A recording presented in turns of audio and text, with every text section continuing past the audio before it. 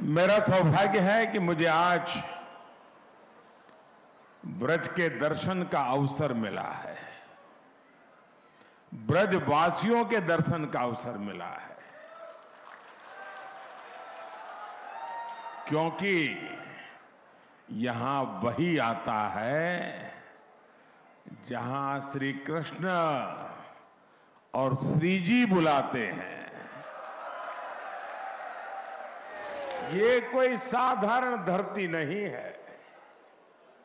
ये ब्रज तो हमारे श्यामा श्यामजू का अपना धाम है।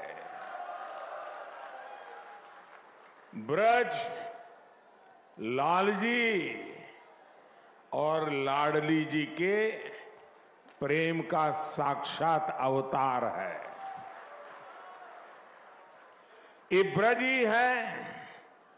जिसकी रज भी पूरे संसार में पूजनीय है। ब्रज की रज रज में राधा रानी रमी हुई है।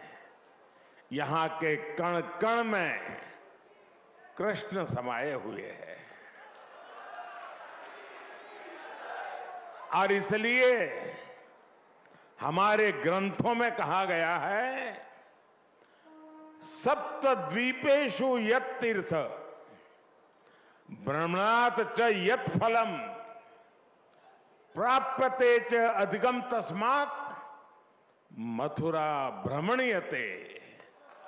अर्थात विश्व की सभी तीर्थ यात्राओं का जो लाभ होता है, उससे भी ज़्यादा लाभ अकेले मथुरा और ब्रज की यात्रा से ही मिल जाता है।